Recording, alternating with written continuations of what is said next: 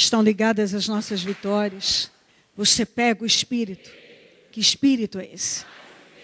Sempre, diga eu bebo do Espírito, da palavra profética, para 2012. Mas os que esperam no Senhor renovarão as suas forças, subirão com asas, como águias, correrão e não se cansarão, caminharão e não se fatigarão. Amém? Por gentileza, sente-se, por favor.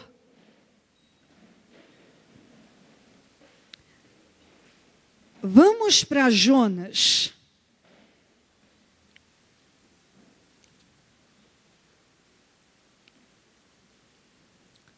Vamos ler Jonas 1, do 1 ao 3, depois vamos pular para o 12, 17, e vamos seguindo. Mas eu volto a lembrar.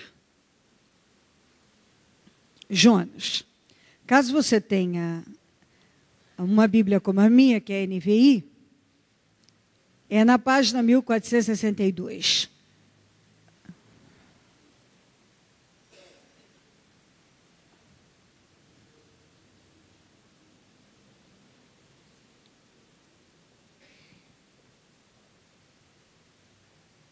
A palavra do Senhor veio a Jonas, o filho de Amitai, Amitai com esta ordem: Vá depressa à grande cidade de Nínive e pregue contra ela, porque sua maldade subiu até a minha presença. Mas Jonas fugiu da presença do Senhor, dirigindo-se para Tarsis.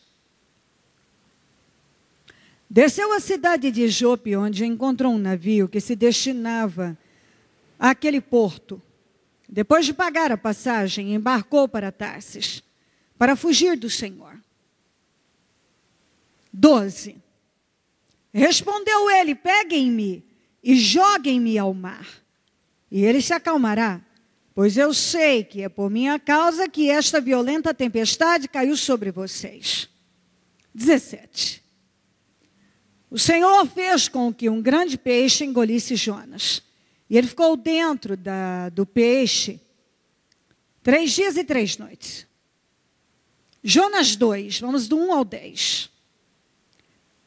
Dentro do peixe, Jonas orou ao Senhor, o seu Deus, e disse: Em meu desespero, clamei ao Senhor e ele me respondeu. Do ventre da morte, gritei por socorro e ouviste o meu clamor. Jogaste-me nas profundezas do coração dos mares. Correntezas formaram um turbilhão ao meu redor todas as tuas ondas e vagas passaram sobre mim. Eu disse: fui expulso da tua presença.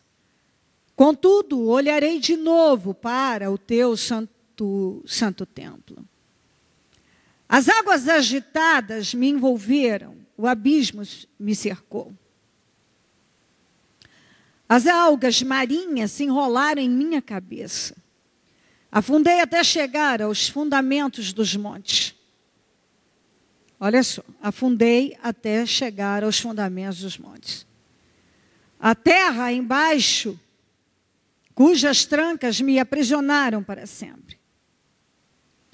Mas tu trouxeste a minha vida de volta da sepultura, ó Senhor meu Deus, quando a minha vida já se apagava quando a minha vida já se apagava, eu me lembrei de ti, ó Senhor.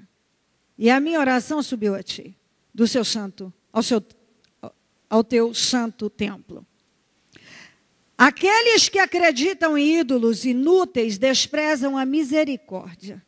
Mas eu, com um cântico de gratidão, oferecerei sacrifício a ti. O que eu prometi, cumprirei totalmente. A salvação vem do Senhor. E o Senhor deu ordem ao peixe, e ele vomitou Jonas em terra firme. Vamos terminar a leitura aqui em Jonas, ainda 3, 6 a 10. Quando as notícias chegaram ao rei de Nínive, Ele se levantou do trono, tirou o manto real, vestiu-se de pano de saco e sentou-se sobre cinza. Então fez uma proclamação em Nínive, por decreto do rei e de seus nobres. Não é permitido a nenhum homem, ou animal, bois ou ovelhas, provar coisa alguma não comam nem bebam. Cubram-se de pano de saco, homens e animais. E todos clamem a Deus com todas as suas forças. Deixem os maus caminhos e a violência. Talvez Deus se arrependa e abandone a sua ira e não, seja, e sejamos, e não sejamos destruídos. Tendo em vista o que eles fizeram e como abandonaram os seus maus caminhos, Deus se arrependeu e não os destruiu como tinha ameaçado. Ok, então. Bom, naturalmente que nós falamos de obediência. Essa palavra tem a ver com obediência. Jonas nós podemos tratar como o profeta que correu para baixo. Isso mesmo.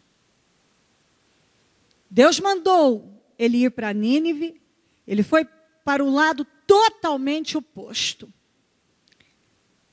Ele desceu ao litoral, do litoral para um porão de um navio, do porão do navio para o fundo do mar, do fundo do mar para o ventre de um grande peixe. Ele só desceu. E aqui ilustra bem que sempre é possível descer um pouco mais. Era para ir para Nínive. Ele desceu ao litoral, pegou um barco, foi para o porão. Do porão foi para o mar, para o fundo, como nós lemos. E de lá para dentro de um peixe. E aí, só Deus só Deus. Nós podemos correr, como a Bíblia nos ensina, para a vitória, mas tem gente que corre para a derrota.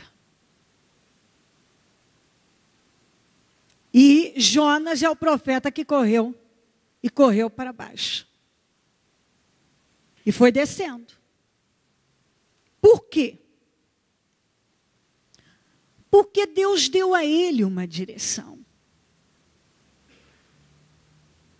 E ele não confiou, não queria fazer.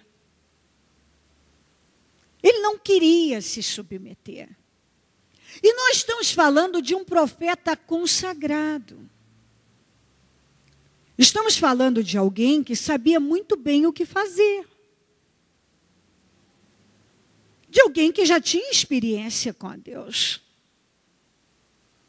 Nós estamos falando de alguém que não sabia o que fazer. Estamos falando de alguém que conhecia e sabia o que fazer. Mas que, ao ouvir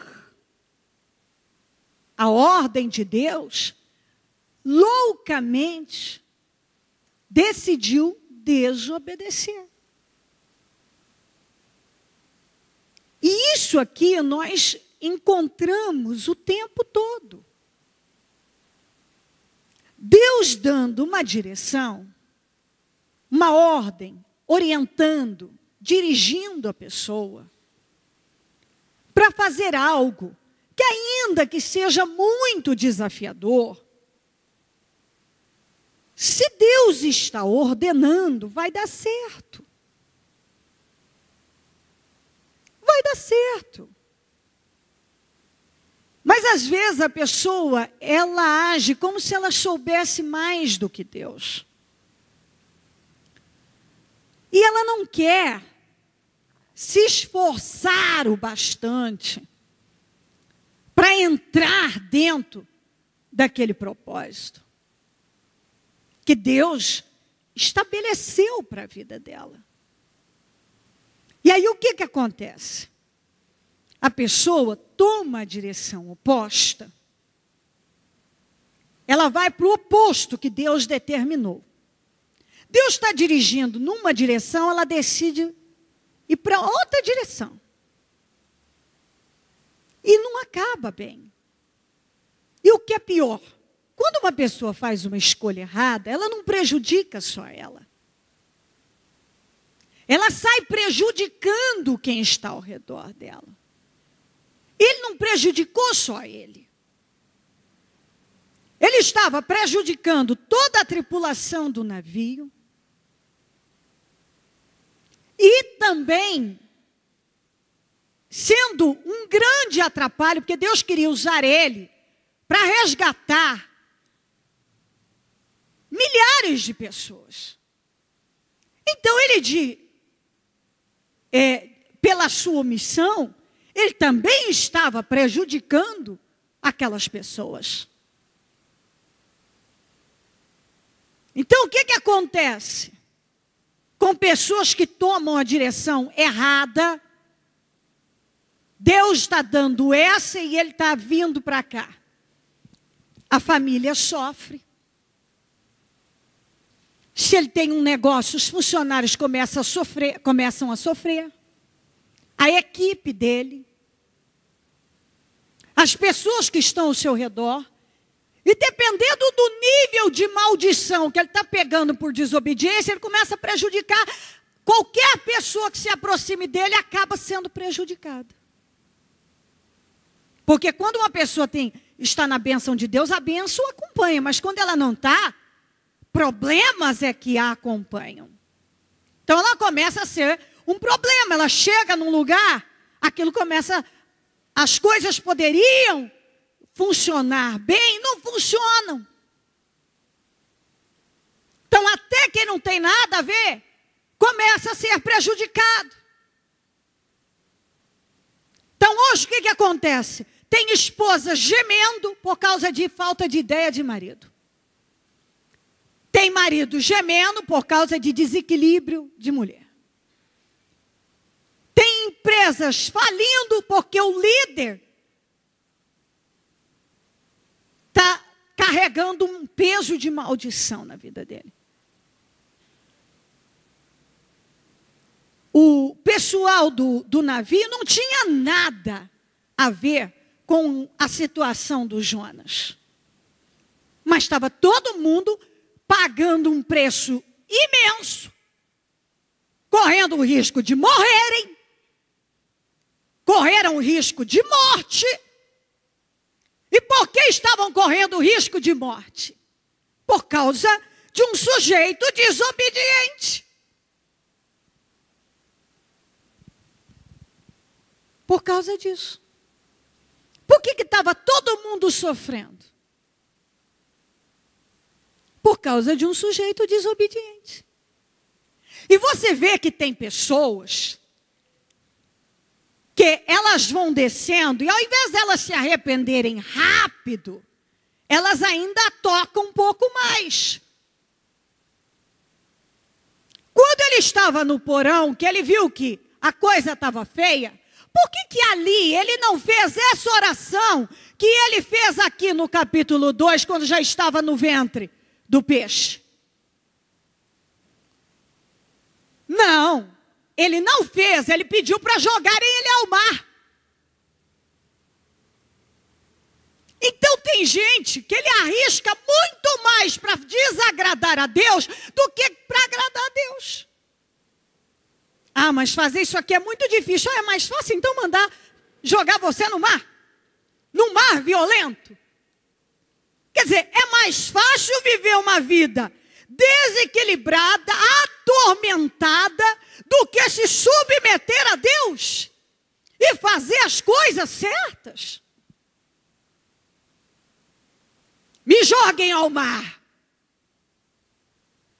Já está com problema, vai pegar um maior ainda. Por que, que não vai se arrepender no porão agora? Por que, que não fez essa? Por que, que esperou chegar lá, dentro da baleia?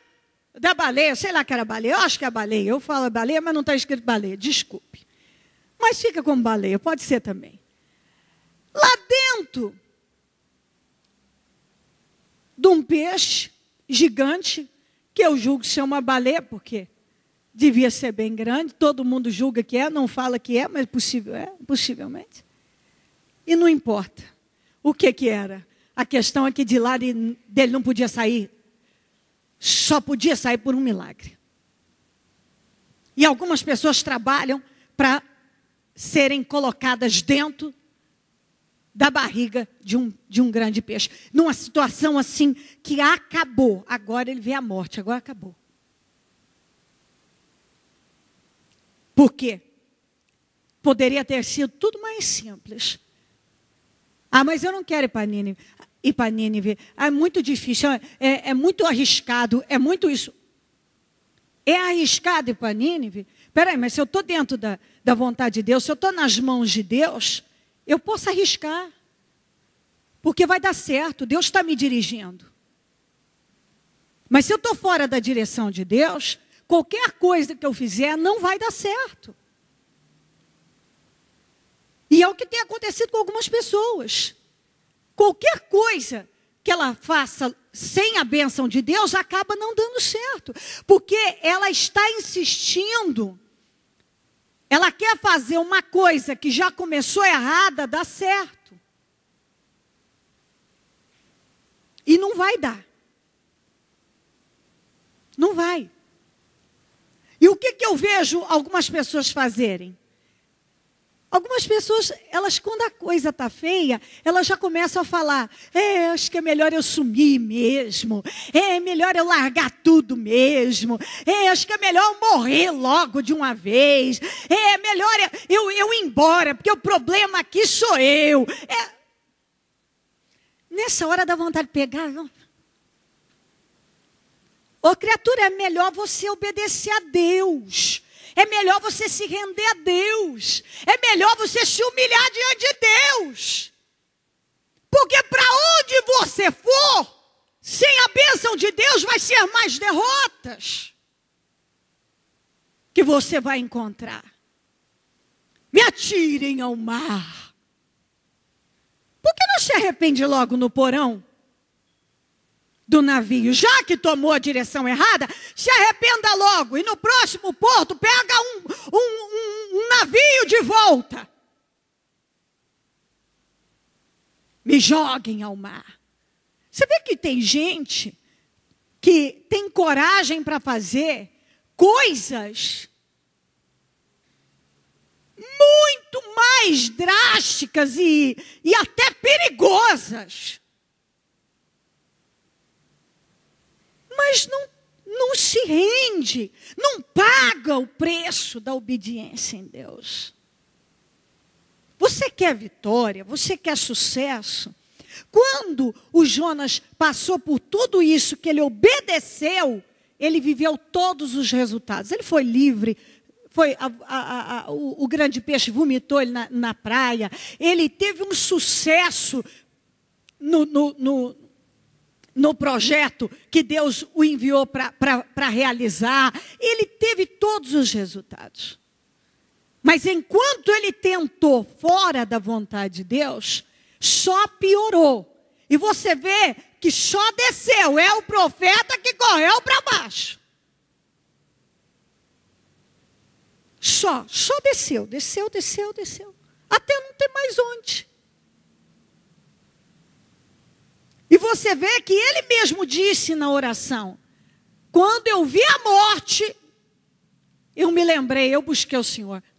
Eu não entendo por que, que algumas pessoas precisam chegar a um nível tão profundo de sofrimento para se submeter a Deus. Para entender, não, chega. Eu preciso obedecer a Deus. Então, olha o que, que aconteceu com o rei de Nínive. Quando ele ouviu a mensagem, ele era o rei, ele era o líder. Estava tudo errado na vida dele.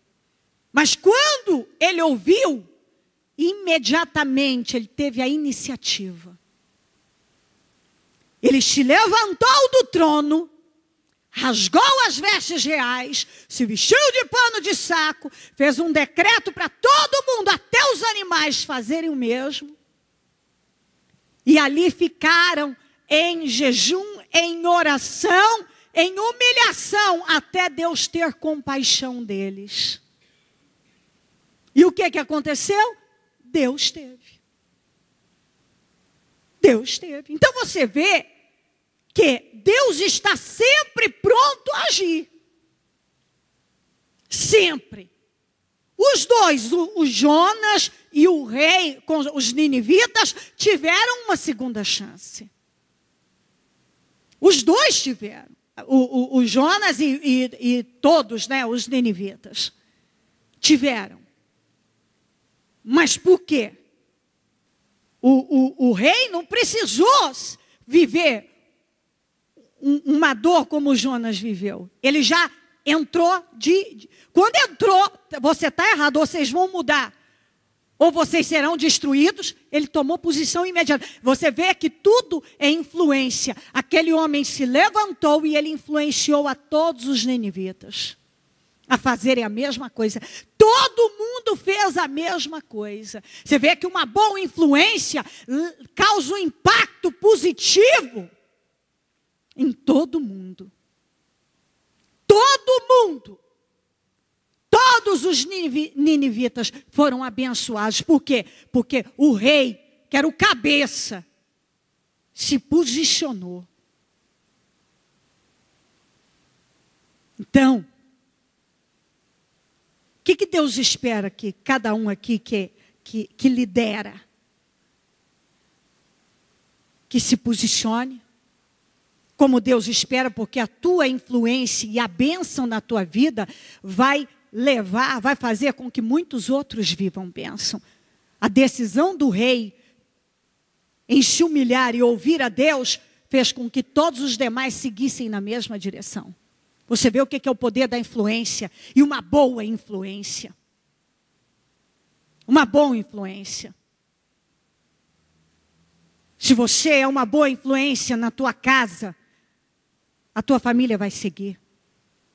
Uma boa influência no teu trabalho, você vai ser bênção naquela empresa, naquele negócio, na vida daquele cliente, quem negocia com você vai ser abençoado. Teus funcionários serão, sua equipe, a equipe que você lidera, por intermédio de você, todos serão abençoados. A tua boa influência, o teu bom exemplo, o bom exemplo do rei de Nínive, fez com que todos seguissem na mesma direção e todos foram salvos, aqueles que seriam destruídos. Então você vê como uma, uma, uma pessoa pode influenciar a muitos a seguirem para uma direção de vitória.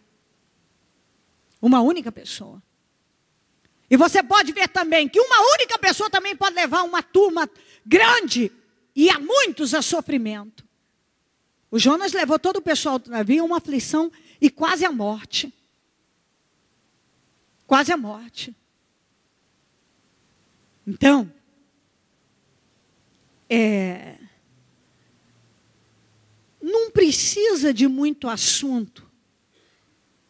Isso aqui é muito claro. é você entender que não adianta uma pessoa achar que mede força com Deus, é, resistindo numa conduta, mantendo um, um caráter é, que desagrada a Deus, porque não vai ter um bom fim.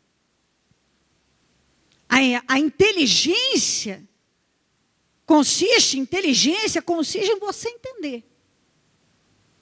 Deus está falando comigo, peraí, ainda que seja muito difícil seguir nessa direção, fazer as coisas assim, assim, assim, mas na, na, nas mãos de Deus, dentro da vontade de Deus, na direção dele, eu sei que eu vou ter sucesso.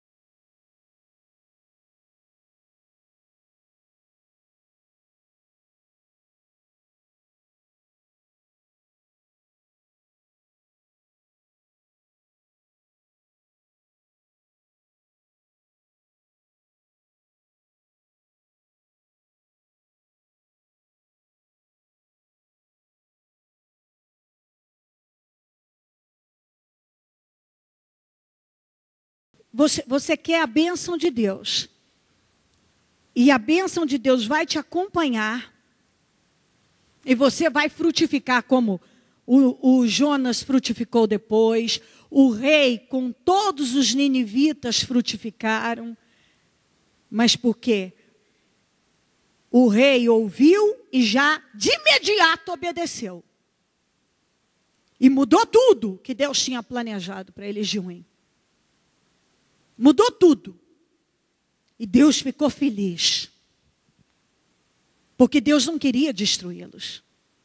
Deus queria que eles fossem salvos. E você vê que gente inteligente é assim: aquele rei vivia no pecado.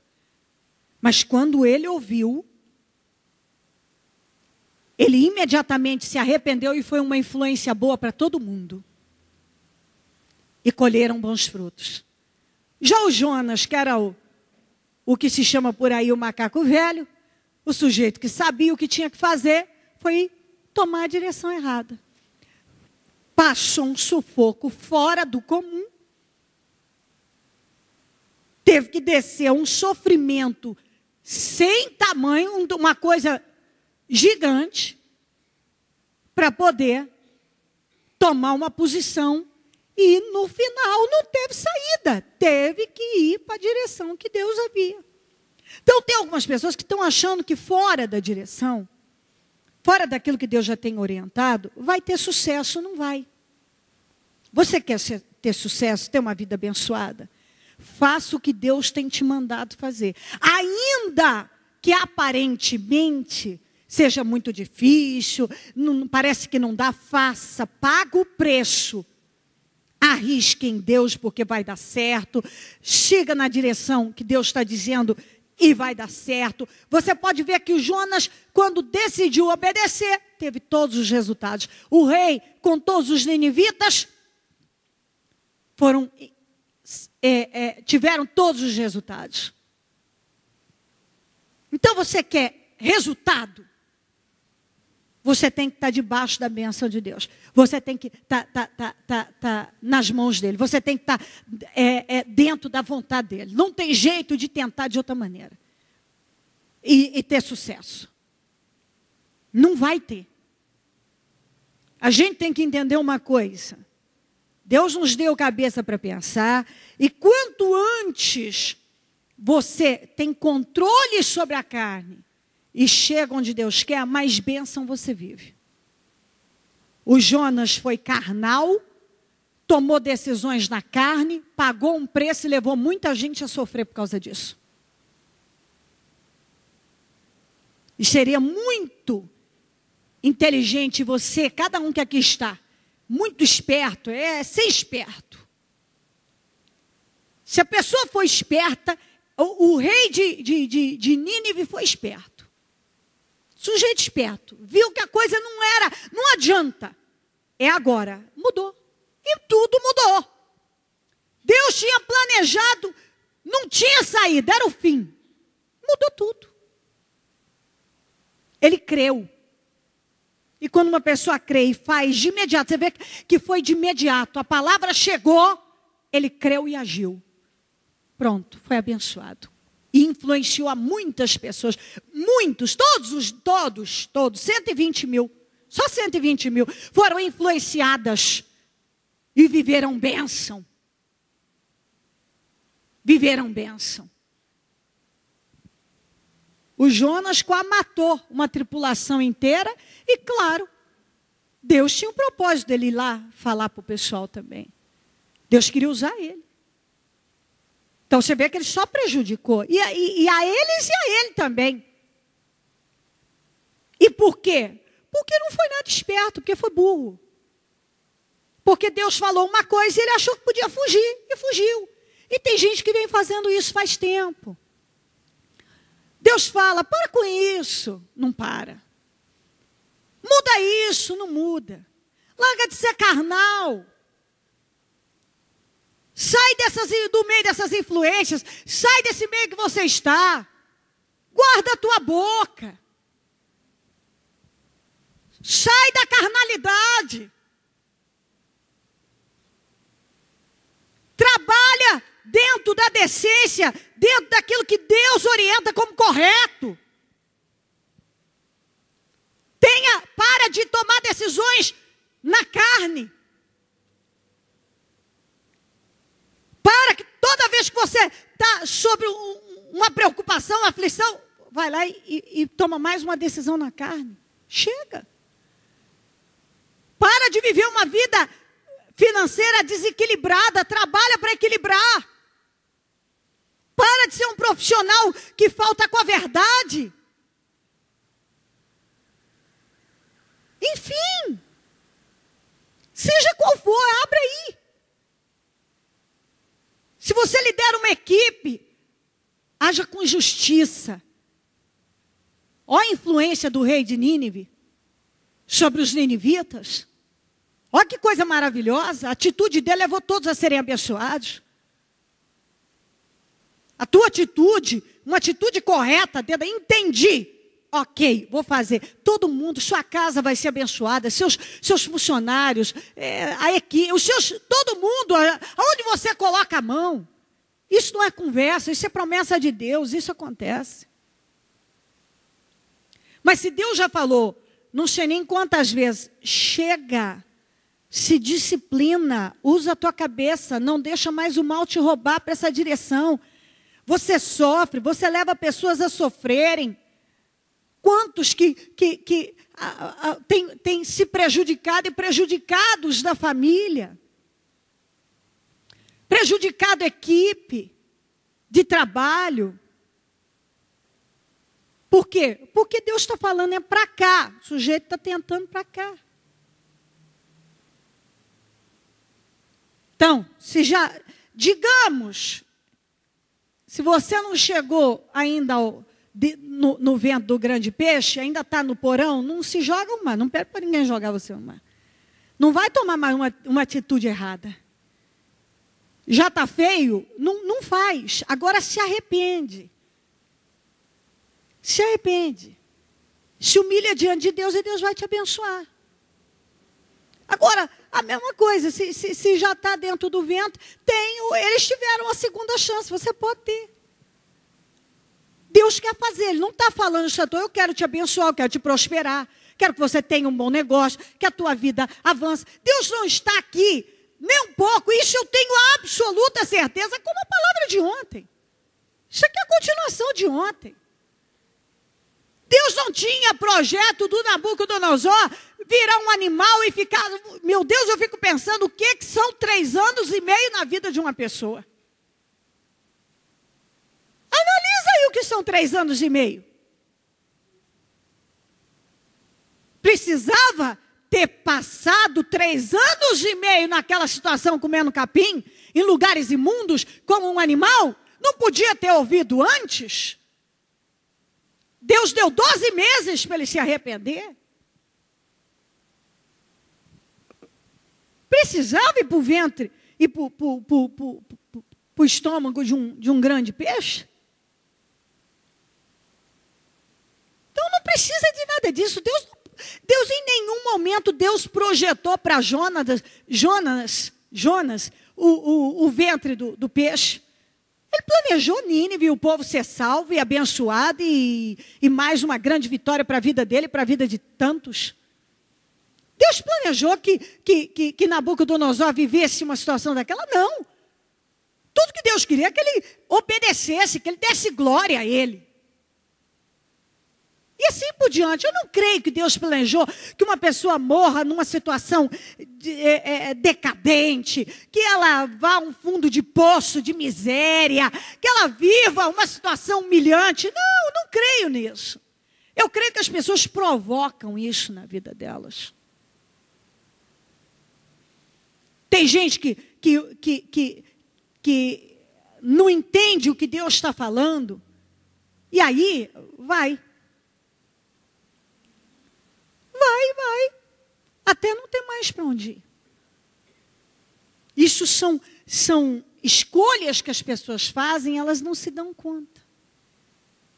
Então Deus está prometendo o que aqui hoje? Vitória. Porque quando a gente fala de Jonas, que estou, ai meu Deus, não era isso. É assim, a vitória, está falando vitória. Eu te dou uma segunda chance, eu tiro você disso. Eu tiro você. E ainda que você diga assim, ah, bispo, mas eu já entrei, eu já Deus já me tirou, ele me entrou. Então, ele, se ele está falando com você, porque ele está dizendo, eu te tiro novamente. Mas você vai ter que mudar. Eu tiro. Mas você tem que mudar. Você tem que decidir que daqui para frente, não importa quantos anos de fé, quantos anos de profissão, isso, você tem que entender que a tua prioridade é ouvir a Deus. É ouvir a Deus e se render a Ele. Porque está provado que Deus não muda de ideia, a não ser para abençoar. Está aqui, ó. Eles não se arrependeram, Deus imediatamente não destruiu mais. Mas eles tiveram, se eles não tivessem se arrependido, teriam morrido. E se o Jonas não tivesse arrependido, teria sido digerido. Se o Nabucodonosor, após três anos e meio, não tivesse dado glória a Deus, certo tinha morrido naquela condição. Mas por que o Senhor devolveu o trono dele? Porque ele se humilhou. Por que o Senhor mandou o grande peixe vomitar o Jonas? Porque ele se humilhou. Por que o Senhor não destruiu Nínive? Porque eles se humilharam. Porque eles chegaram onde Deus queria.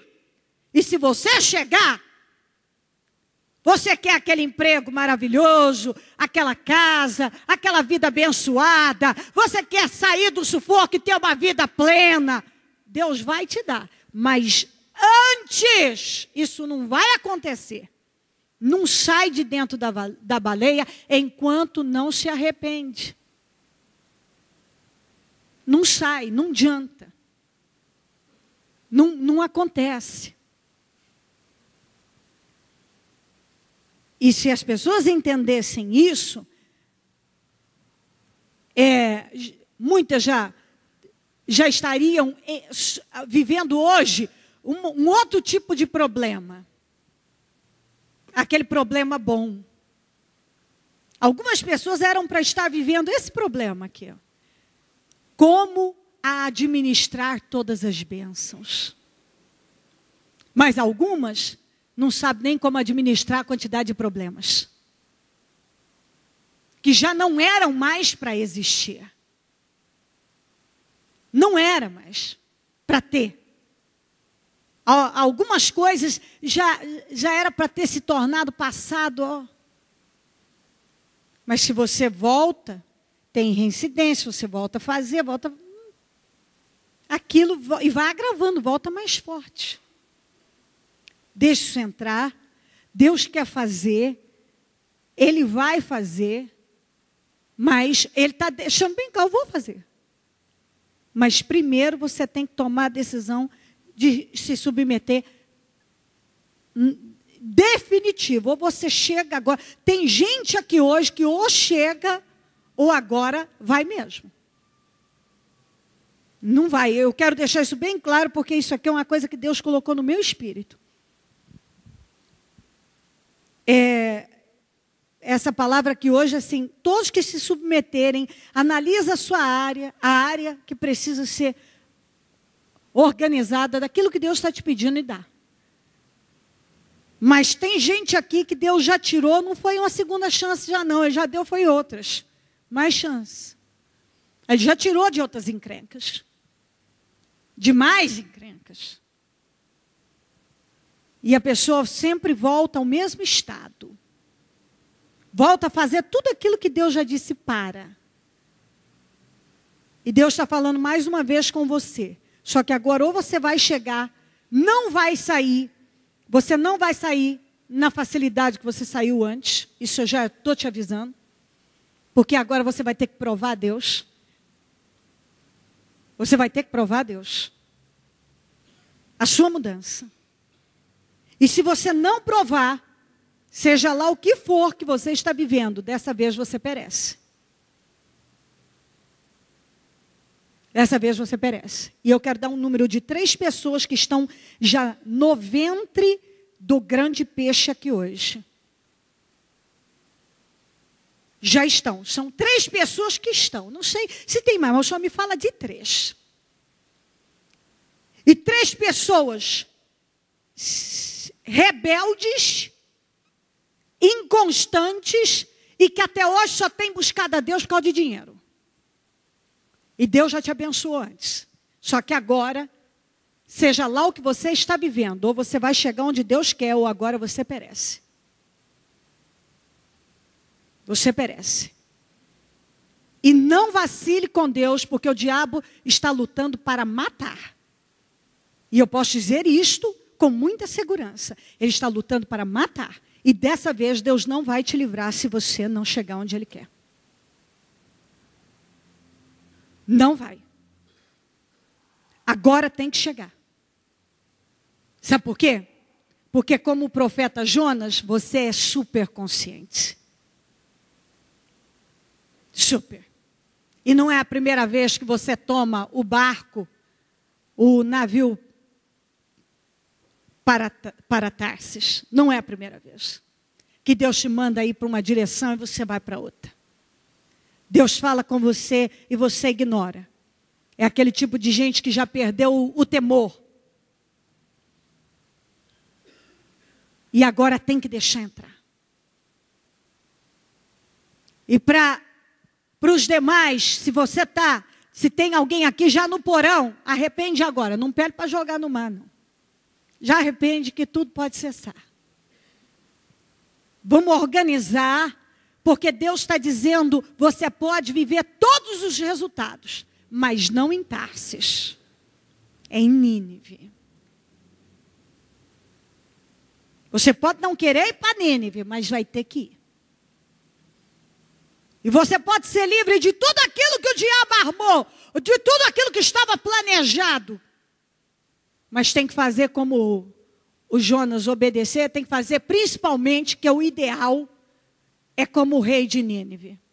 O rei de Nínive é um exemplo maravilhoso do sujeito que está no profundo do pecado, mas quando ouve o que tem que fazer, vai lá e se submete imediatamente. Você vê que foi imediato, porque o Jonas levava três dias para percorrer a cidade inteira de Nínive e ele ainda ele fez o serviço em um dia. E ao ouvir não foi pela, como algumas pessoas que já ouviram uma, umas 500 vezes. O rei de Nínive ouviu uma vez e já rasgou as vestes, se arrependeu e se posicionou. O rei de Nínive ouviu uma vez, rasgou as vestes e já se posicionou e influenciou todos. Agora tem gente que já ouviu muitas vezes o que tem que fazer. Mas gente inteligente é assim: ouve uma vez e ele não paga o preço pelo mesmo erro duas vezes. Ele não paga. Não busque mais atalhos, porque eles não vão funcionar. Cure a doença do seu destino. Se o diabo te destinou a uma vida inteira de fracassos, você pode mudar isso obedecendo a Deus. Coloque-se em pé, por gentileza.